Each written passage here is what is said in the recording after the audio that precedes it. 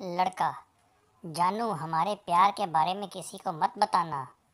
लड़की, तुम्हारी बहन को तो बताऊँगी, कमीनी कहती थी, कोई कुत्ता ही होगा जो तुमसे प्यार करेगा।